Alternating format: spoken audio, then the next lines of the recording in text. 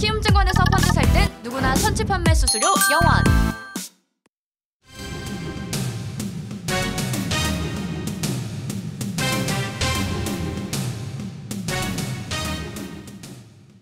네, 마켓리드 2부 이어가겠습니다.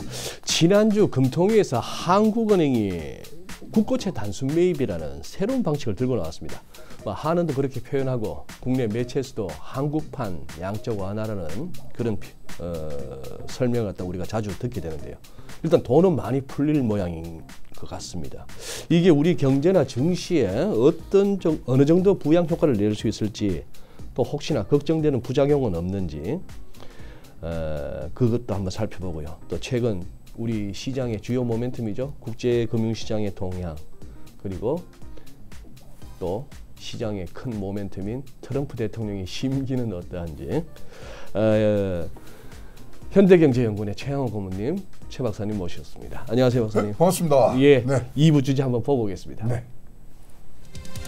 한은의 카드 한국판 양적 완화 효과는 예, 유동성 시대 증시로 과연 어느 정도 그 유동성이 유입될 것인지 어, 감산 합의 이룬 OPEC 플러스 회의 유가 전쟁은 일단락 될 것인가 좀 체크해 보도록 하겠습니다.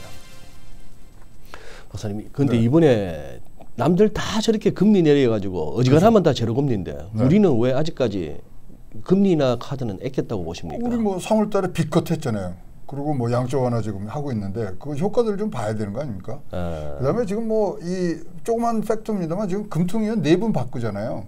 예, 네, 그 오늘 정도면 명단이 나와야 되는데 아직 안 나옵니다. 20일까지가 임기거든요. 예. 아직 안 나오고 박사님은. 하마평에 안 오르시고 어, 없습니다. 저는 뭐 이쪽으로는 어, 집에 가진 돈이 없어갖고 거기 들어가면 안 돼. 예. 그러다 보니까 이제 이 양적 완화 겨- 효과도 지켜봐야 되고 특히 지금 실물 경제가 얼마나 악화됐는지 지금 사실 코로나 영향이 완벽하게 들어간 수치 지표들은 안 나왔거든요. 네. 그러니까 좀 남겨놓은 것 같은 아, 그런 부분인데 사실 이제 오늘 어, 금통위 임시회의 의사록이 오늘 발표가 됩니다. 그러면 그 안에서 이제 어떤 얘기가 나왔는지 하면 음. 더 좋은 얘기가 나오는데 어, 실질적으로는 지금 어, 두 분이 어, 임시회에서 0.25 어, 25bp의 인하를 주장을 했습니다. 소수 의견 나왔었죠. 네, 누군지는 아시죠? 두 예. 예. 에, 그래서 소수 의견이 나온 어, 그래서 이유를 이제 밝힐 텐데 그런 것들을 이제 보면은 전체를 보실 수가 있고요. 지금 이제 이렇게 되면은 우리도 이제 양적 완화가 일차로 끝날 건 아닙니다. 그래서 향후에 또 뭐 새로운 어, 이런 양적 완화의 방향이 나왔을 때 그때 같이 그때 기준금리를 쳐줘야 이 효과가 두 배가 되는 거거든요. 음. 지금 뭐 2008년하고 지금 많이 비, 비교를 하시는데 사실 2008년하고 비교하는 것보다 우리는 1929년 대공황하고 비교하는 게 요번 사태를 이해하는데 더 어, 효과가 좋습니다. 왜냐하면 2008년은 금융계에서 움직여고 네, 예, 된 거고 예. 어, 1929년 대공황은 이제 실물 경제에서 움직이는 거기 때문에 지금 다 보시면 QE라고 우리가 어, 뭐 얘기를 하고 있습니다. 양적 네. 완화. 사실은 QQE라고 생각을 합니다.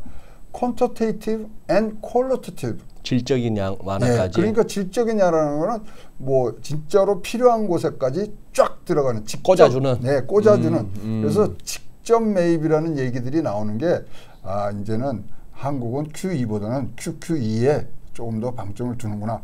사실 2008년도 어, 쉽게 얘기하면요. 뭐 나쁜 뭐 담보 좋은 담보에서 섞어찌개를 만들었잖아요. 음. 근데 한술 먹다가 입이 된 거예요. 네. 그러다 보니까 아 요번에도 사실 이제 미국에서는 깜짝, 깜짝 놀랐죠. 당시에 문제가 됐던 건 3천억 달러 파생 상품뿐이 아닌데 그게 이제 전 세계를 흔든 거 아닙니까? 예. 그러다 보니까 선제적으로 들어간 부분이 있는데 요번은 진짜 진단이 잘 잘 돼야 됩니다. 진단을 잘해서 처방이 되는데 일단은 놀란 가슴 이 섞어찌개 먹다 입이 대놓으니까 아 이거 이거 음. 하면 안 되겠다 그래서 했는데 실질적으로는 조금 더 들어간 진짜 필요한 곳에 꽂아질 수 있는 부분들이 어, 지금 필요하다고 생각을 합니다. 음. 그동안에 우리가 RP, RP 했지 않습니까, 네. 박사님? 그게 RP가 환매 조건부라고 그렇죠. 우리가 알고 있는데 그게 이- 일단 뭐의 약자입니까? 뭐 repurchase 뭐 어쩌고 저쩌고죠. 뭐그돼 있는데 에, operation인데 예. 이게 채권 맡기고 채권 맡기고 정- 맡기고 금융기관들이 예, 현금 빌려서 대출시켜 주는 거거든요. 그러니까 이게 과연 지금 효과가 있는지 지금 잘 모르겠습니다. RP는 그러면은 은행이나 증권사나 뭐 할 것 없이 네. 전부 금융기관들이 들고 있는 그렇죠. 우량 증권을 담보로 주고 그럼 네. 거기에다 주는데 벌써 뭐 증권사나 은행, 은행 금융권에서는 우량 증권 다 담보로 맡겨서 담보 여력이 없어요. 담보 여력이 아니, 이거 없다. 보세요. 우리가 3월 20일 날 어, 1조 RP 했고요. 3월 24일 날 2조 5천 RP 했는데요. 이게요. 뭐 그러고 나서 4월 1일인가 4월 3일 5조짜리 했는데 그때 3조밖에 안 들어와요. 음, 그러니까 1번 더 이상 우량 담보를 제공할 수 있는 증권들이 지금 책 뭐 이 금융사에는 없는 것처럼 지금 보이고요. 그러면은 예. RP는 그렇게 해서 담보를 맡기고 금융기관들이 한은에서 돈 가져갔다가 뭐 일정 기간 그 끝나고 나면 또 돌려줘야 되는 거 아닙니까? 돌려주고 그러니까 대출 다시 또, 또, 또 여기서도 은행에서 돈을 받아왔으면 네. 그걸 또 이제 실제 실물 경제 풀어줘야 되잖아요. 네, 근데 지금 거기서 대출을 또 2차 대출 하려 그러니까 네, 얼마나 심사를 까다롭게 하겠습니까? 그러니까 안 되는 거죠. 그 다음에 이번에 RP 금리가 0.78이었어요. 음, 그러면은 이게 0.03밖에 차이가 안 나지 않습니까 우리가 그러다 보니까 이게 지금 효과가 있느냐 이런 등등이 나오다 보니까 사실 금리 인하도 같이 갈 수 없었던 부분들 중에 하나고요. 현재 이제 수정 경제 전망이 나와야 금리 인하는 얘기가 좀 될 것 같고요.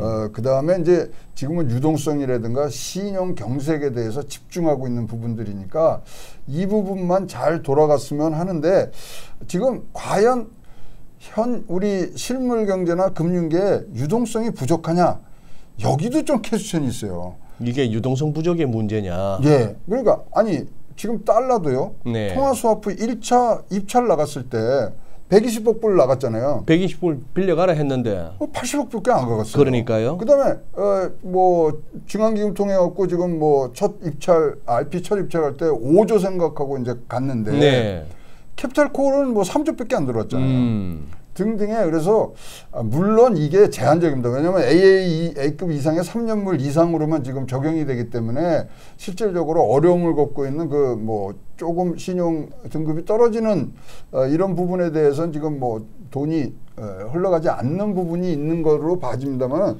전체적으로 봤을 때 그렇게 급한 상황이 아닌 거라고 판단을 해도 어, 음, 뭐 그러면은 예 박사님 말씀은 이해가 갑니다. 음. 과연 그러면 조금 더 하다 보면 이제 이 의심이 좀 풀리겠는데 그러면은 RP하고는 분명 달라요. 국고치 직매입은 그렇죠. 단순 다르죠, 매입은. 예. 바로 한은에서 그걸 사주면서 도, 주는 거죠. 돈 주는 거죠. 예. 이거는 새- 완전히 그야말로 새로 새- 새로운 돈이라 봐야 됩니까? 번원 통화 증가로 봐야 됩니까? 그렇죠. 이건 뭐 광, 광, 저 광이. 광의 그 L, L이 늘어나는 거고요. 근데 그거 말고도 이번에 단순 매입 채권이 뭐 좀 여러 가지로 음. 확대됐다고 들었는데. 아니 그러니까 이제 네. 이, 이거요. 먼저 아셔야 될게 자, 이렇게 이제 돈을 대출해 주면 이제 그걸 갖고 이제 회사채 하는데 이제 쓸 거 아닙니까? 예, 증권사나. 예. 주관사는 어떤 입장이냐면요. 이 미매각 물량에 대해서 어떻게 처리할지 지금 뭐 대책이 안 쓰는 거예요. 그러다 보니까 어저께인가 하나 솔루션 했잖아요. 하나 네. 솔루션 지금 어, 회사채 나왔는데 40%밖에 물량이 안 됐어요. 음. 그러니까 지금 그런 부분 그다음에 운용사는 지금 기존 보유하고 채권들을 헐값에 팔았고 비싸게 사주는 거거든요. 그러니까 지금 운영사와 주관사가 지금 다 어려움에 있는 부분인데 여기 그냥 돈 넣는다고 지금 풀릴 일은 아니거든요. 네, 예. 따라서 지금 등급 등급뿐만 뿐만 아니라 하나 솔루션은 굉장히 좋습니다. A인데 뭐, 뭐 최근에 이제 부정적인 그런 의견들이 나오다 보니까 이렇게 막혀서 과연 이것을 이러한 지금 과거의 선진국이라든 지, 지금 미국에서 쓰는 방법으로 해야 될지 이 부분에서는 좀 퀘스천이 있습니다. 미국에 쓰는 방법이라 하시면. 그러니까 미국도 이제 뭐 중앙은에서 직접 음, 네, 어, 네, 이제 네. 매입을 해서 지금 주고 네. 하는 부분들이 네. 그래서 처방이 분명히 좀 달라야 되는데 어쨌거나 지금 우리 국채 금리 자체도 지금 안정화가 안 돼 있거든요. 네. 그런데 이러한 어, 회사채의 금리까지 지금 우리가 어, 얘기하면서 거기다 어떤 이 자금의 루트를 만들어준 거 언강생심일 수도 있다 이렇게 봐집니다. 조금 듣다 보니까 혼란스러운 거는 음, 지금 그 정책의 취지는 그러면 그렇게 해서 금융기관들이 유동 그 이제 돈이 넉넉해지면 유동성이 풍부해지면 그걸로 이렇게 실물 쪽에 돈 좀 대출 형식이 됐건 뭐가 됐건 풀으라는 거 아닙니까? 아니면 그걸로 주식 사라는 얘기인가? 아니 대상이 네. 지원이 우량 등급에만 집중돼 있다니까요. 우량 등급은 돈 많잖아요. 그러니까 비우량 등급에서 불거질 수 지금 있는 돈, 돈 짜치는 애들한테 돈이 가야 될 거 아닙니까? 그러니까 그 비우량에서 불거질 수 있는 금융 경색에 대해서는 지금 뭐 극도로 운영사도 그렇고 주관사도 그렇고 뭐 그 금융권에서도 지금 극도로 경 뭐 경각심이 있기 때문에 어차피 나중에 부실 나고 디폴트 나고 이러면은 그때 자기 가서. 네. 자기 책임 될 거니까. 그래서 음. 지금 그러니까 그런 것들을 판단할 지표들이 아직 안 나왔어요. 자, 3월 달에도 우리 수출 같은 거 보면요. 지금 3월 1일부터 20일까지는요. 10% 증가했어요. 중 수출이. 근데 그 세계적으로 어, 팬데믹이 불려지면서 나머지 10일간에 그걸 다 까먹는 다 거예요. 까먹고. 그렇기 때문에 지금 판단할 수 있는 자료가 없는 상황에서 지금 함부로 비우량 등급에는 지금 나갈 수 없는 부분. 그래서 요것들이 좀 풀려야 되는 부분들이 있고요. 어, 뭐, RP 지금 어, 거기도 0.78, 그 다음에 기준금리 0.75. 이게 너무나 금리 차가 지금 없잖아요. 그러다 보니까 그런 문제 등등이 지금 복합적으로 돼 있기 때문에 금융 당국에서 해야 될 일, 지금 처방을 굉장히 진단이죠. 진단을 굉장히 세밀하게 타겟을 정해서 가야 됩니다. 물론 지금 어, 우리가 에, 1997년도 이 금 이 외환위기 때의 지금 모습을 갖춰가는 것들에 대해서 사실 뭐 한 2주 전부터 놀랐어요. 왜냐면 그때 한보가 3월 달에 부도가 나면서 아, 시작했지 예, 않습니까? 예. 근데 두산 중공업이 두산 건설로 인해서 지금 뭐 음. 긴급히 자금이 한다 그래서 그 당시에 뭐 굉장히 많은 전화도 받고 어 야 이거 어떻게 되는 거냐 이제 얘기를 들었는데 그런 모습을 갖춰가다 보니까 조금 우리가 세밀한 이게 다른 형태로 지금 찾아오고 있는데 세밀한 어, 지금 진단이 조금 더 내려져야 된다고 생각을 합니다. 음. 아 그러면 지금 이렇게 이렇게 해서 풀리면은 이게 우리 뭐 주식 하시는 분들 입장에서는 야 그거 우리 증시로 좀 들어나? 이게 제일 궁금할 것 그렇죠. 같은데 어떻게 근데 어떻게 뭐 보십니까? 지금 뭐그 증시는 아시겠지만 어, 개인 투자자들께서 네, 많이 네. 지금 도움을 주시고 있는데 일단은 지금 뭐 고객 예탁금이 17조 원이 이제 증가되고 있어요. 지금 굉장히 변동세 장이장이었습니까? 그래서 네. 증시의 복원력이 저도 이런 건 처음 봐요. 뭐 음. 10% 빠졌다 다음날 10% 오른 증시 복원력을 통해서 굉장히 지금 만끽하고 계시죠. 음. 어, 근데 어, 뭐 좋은 점은 신용은 줄고 있어요. 신용이 아, 예, 예, 그렇다 예, 보면은 아 신용으로 새로 안 들었다면 지금 부동산에 있던 유동 자금들이 지금 들어오고 있는 거 아니냐 음. 아, 이런 부분들로 지금 어, 보여지고요. 어, 증시 안정 자금이 지금 10조가 돼 있지 않습니까? 네. 지금 1조를 쐈고 쐈고 예, 그다음에 지금 뭐 제가 어, 취재한 바로는 지금 1,300, 1,400, 1,500대 지금 나머지 구조를 지금 늘라 그럽니다. 오늘 이제 1,840을 지금 넘었단 말이죠. 네, 예. 올라가는데 그렇게 내려올 때 들어오니까 사실 이 끌고 나가는 것은 현재 에, 개인들의 자금으로 음. 어, 보여지고요. 그럼 정황 펀드는 지금 바로 계속 가동되는 게 아니고 장, 장 빠지면 들어온다는 얘기인가요? 그렇죠. 지금 그게 자기네들 계획입니다. 정확히 말하면 1조 7,600억인데 네. 요번에 1조는 들어갔죠. 요번에 음. 하면 돼. 근데 뭐 효과가 있는 뭐 있다고는 평가를 이제 해야 되는지만 나머지 구조가 그러면 때때로 들어오느냐 절대 아닙니다. 1,300, 1,400, 1,500에 지금 다 걸려 있습니다. 따라서 그런 것들을 아, 감안해 그 두셔서 지수가 밀려야 예 음. 들어온 거니까 어, 보시고요. 일단은 지금 현재의 에, 자금 유입은 부동산에서 들어오고 있는 부분들이 어, 많다고 보여집니다. 예. 근데 일단 이렇게 지금 정책도 정책도 팬데믹입니다 보니까 대유행이에요. 다들 뭐 어, 똑같이 해죠. 똑같지 않은데 근데 전 세계적으로 이렇게 하면은 그 뭐 하기 좋은 말로 맨날 좀 상황 좋을 때야 듣기 좋은 말로 뭐 구조조정에 박차를 가하고 네. 이러면 구조조정은 물 건너가는 거 아닙니까? 구조조정 물 건너가죠. 근데 구조조정이 자연스럽게 될 것 같아요. 자연스럽게. 우리가 PC 경제라는 말이 새로 나왔어요. PC. post 코로나. post 예, 코로나. 우리 뭐 BC에서 뭐 before Christ가 아니고 네. before 코로나인데 이제는 네. PC로 간다. 그렇다면 첫 번째 제일 눈에 띄는 거는 공유 경제라는 얘기가 지금 없어지고 있어요. 공유 경제. 아니 남 쓰는 거 같이 쓰시겠어요 지금? 그래요. 예, 예, 그런 예. 것뿐만 아니라 지금 전 세계적으로 뭐 지금 셧다운이 있기 때문에 그렇지만 공 대중교통이 완전히 죽었어요. 그렇다면 차후에 나는 건 개인 모빌리티입니다. 이런 부분들이 지금 막 옆에 다가오고 있는 부분이라서 구조 조정이 자연스럽게 지금 될 수밖에 없는 상황입니다. 즉 우리가 알고 있었던 어, 세계화에 의한 컨테이너 경제는 이제 끝났습니다. 컨테이너 경제. 네, 우리가 자유시장 경제에 있었지만 이제 성곽의 시대로 가고 있습니다. 그 안에서만 하니까 새로운 생태계가 지금 이제 뭐이 소위 말하는 구축이 되고 있다고 보시면 됩니다. 전 세계에서 마스크를 제일 많이 생산하는 데가 3M 아닙니까? 미국 네. 네, 네, 네. 미국 내 생산량이 딱 100만 장입니다. 100만 장. 예. 그러다 보니까 중국에서 갖고 오는 거 지금 못 갖고 오는 거예요. 음. 요번에 아주 크게 생태계 특히 글로벌 공급망의 붕괴를 어, 경험을 했기 때문에 자기 인근에 필요한 에, 설비를 갖추는 지역화 세계화에서 지역화로 움직이는 글로벌 공급망이 이제 완전한 다른 모습으로 나타날 때 어떤 식으로 우리가 구조 조정을 해야 되는지 그리고 우리도 리쇼링을 해야 되는 건지 이것이 지금 이제 숙제로 남아 있고요. 이것은 제가 보기에 에, 뭐 4차 산업혁명 뭐 이런 거를 뭐 뛰어넘는 굉장히 크고 지속적으로 가는 부분들이 분명히 이제 존재를 한다. 그래서 여기에 맞게 구조조정 자정이 됩니다. 왜냐하면 재택근무로 가면서 이 사실 노동 개혁이 자연스럽게 일어난 거예요. 노동 개혁이요? 예, 뭐가 되냐면 재택근무를 하니까 시간제 근무가 아닙니다. 성과급으로 갈 수밖에 없습니다. 음. 등등 여러 가지들의 지금 변화가 아주 물밑에서 지금 많이 일어나고 있기 때문에 이후에 대한 대비가 굉장히 지금 필요한 상황이고요. 의외로 네. 우리나라가 굉장히 그런 코로나에 대해서 잘 대응을 하다 보니까 어, 전 세계에 우리나라에 대한 기대치는 올라갔어요. 음. 코로나가 끝나고 PC 경제에서의 한국이 선도적인 역할을 할 수 있지 않겠느냐.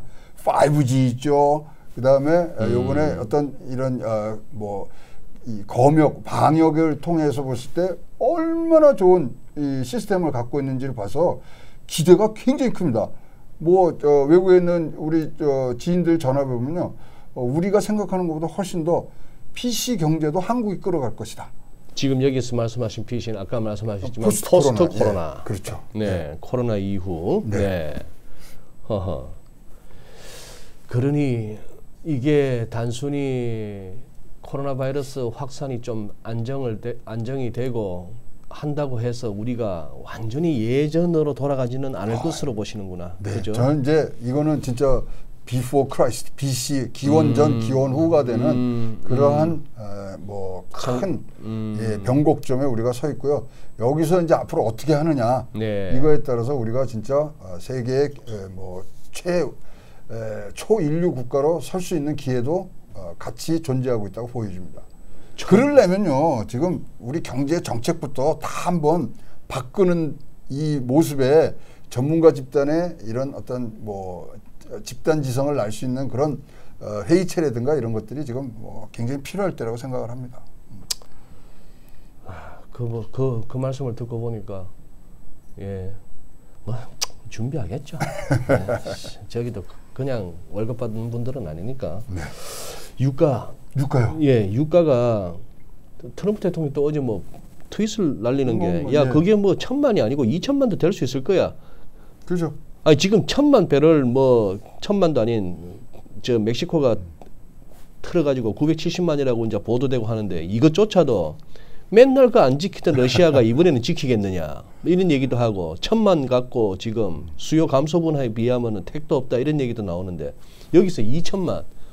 아니 뭐 지난번에도 얼핏 그렇게 한번 던지고 나서 저기 뭐 셰일 쪽에 곡소리 날 때까지는 갈 것 같더니 치킨 게임이 어느 정도 합의도 이뤄내고 해서 네. 트럼프 대통령이 역시 세긴 세다 싶은 생각은 듭니다만 이 뭐 근거 있는 얘기인가요? 어, 2천만 그럼요. 근거 왜냐면 2001년 닷컴 때 네. 어, 감산했어요. 크게 감산했죠. 예. 2006년도 아시아 경제 위기 때, 그다음에 2008년 글로벌 경제 위기 때, 그리고 2016년도 미국 셰일 가스의 이제 원유 생산 증가 때 감산을 크게 합니다. 네. 근데 그때도 2개월 후에 추가 감산을 다 했어요. 음. 그러니까 추가 감산은 원래 있었던 시나리오입니다. 이번에 이제 아까 말씀하신 대로 멕시코가 이제 진해 푸드옵션 때문에 이거 푸드옵션 그 뭐 포기하면 한 7조 정도가 안 들어오는 거거든요. 그러다 보니까 그래 풋옵션이라 하시면 걔네는 이 높은 가격에 팔 수 있는 풋옵션을 사놨어요. 어, 멕시코는. 네. 그래서 이번에 얼음장 놓은 거예요. 지기는 안 하겠다고. 러시아하고 사우디하고 진작에 이거 합의가 돼 있는데 러시아가 아 나 뭐 이거 어떻게 이거는 뭐 어, 보존해줘 이랬거든요. 그런데 이제 에, 트럼프가 거기 가서 그랬죠. 야 그러면 35만 정도를 해야 되는데 우리가 25만 할게 네가 10만만 해. 그러니까 멕시코 대통령이 어 그럼 오케이. 그래서 된 거예요 이게요. 네, 예. 그래서 이게 늘어진 거고요. 그렇다면 2개월 후에 지금까지의 이런 이 굉장히 어, 큰 규모의 대규모의 감산 때는 2개월 후에는 분명히 나옵니다. 따라서 지금 어, 이렇게 해서는 970만이잖아요. 어, 그다음에 네. 770만 정도를 지금 더 생각을 하고 있습니다. 음. 그래서 어, 2개월 후에 6월 달에 그렇게 나오고요. 어, 내년도에 가면은 또 내년 1월 정도에는 한 550만 더 하는 걸로 일단 내용은 서로 공유를 하고 있습니다. 네. 추가적으로 예. 지금 뭐 이 코로나 때문에 3천만 배, 배럴이 지금 뭐 이 수요가 글쎄, 줄었기 때문에 예, 예. 어, 하고 있고요. 근데 여기 이제 문제점이 있죠. 왜냐하면 이렇게 감산을 하는데 저장고가 없어요. 아니 이거 석유는 그냥 이거 어, 시- 뭐 수도꼭지 잠그지 잠글 수는 없거든요. 네, 네. 그래서 지금 뭐 어, 모로코에 있는 어, 천만 배럴 상당의 이런 뭐 폐 유전까지도 지금 저장고로 어, 뭐 바꾸는 작업들을 하면서 어, 준비를 하고 있는데요. 지금 뭐, 어, 뭐 월말까지는 한 45불까지 생각을 지금 하고 있더라고요. 그래서 예?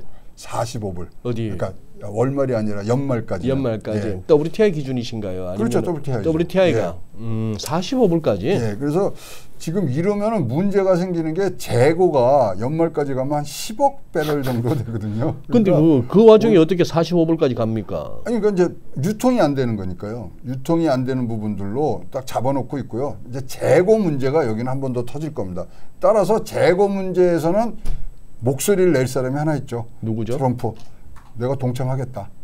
그러니까 이게 계획이 쫙 있습니다. 어, 역시 이 문제가 풀리려면 이제 수요만 살아나면 되거든요. 네. 근데 수요를 어떻게 이제 만들어내느냐 이 부분에 대해서 이제 트럼프가 5월 1일부터 뭐 경제 재개하겠다 지금 막 계속하는 얘기가 어, 이러한 수요의 확대를 위한 지금 얘기고요.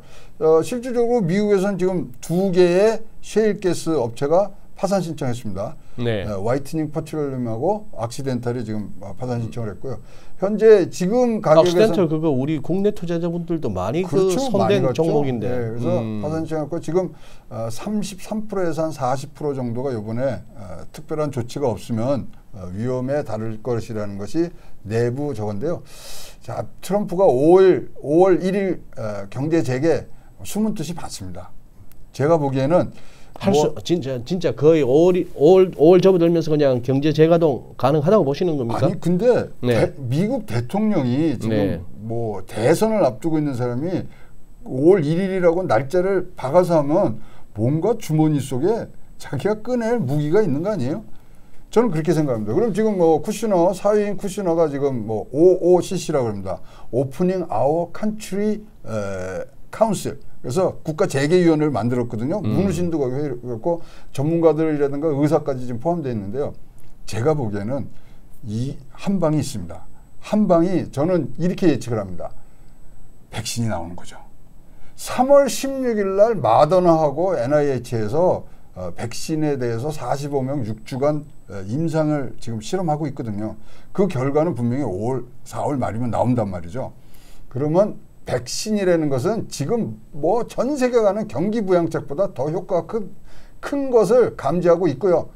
그러한 어, 바탕으로 분명히 5월 1일 재개를 얘기한 것 같습니다. 그러다 보니까 그 어, 파우치라고 그 예, 코로나 파- TF 지금 뭐 그래서 어, 무슨 소리 지금 24만까지 가는데 지금 사망자에 대해서는 6만까지 지금 이- 낮추더라고요. 네, 낮추는 부분들을 봤을 때 아, 여기가 어, 어떤 정보의 공유들이 되고 있고 어, 분명히 백신 또는 치료제에 대한 획기적인 소식이 5월 전에는 나오는 거 아니냐 아, 그러한 조심스러운 전망을 하는데 조심스러운 전망할 때 제가 틀려본 적은 별로 없습니다.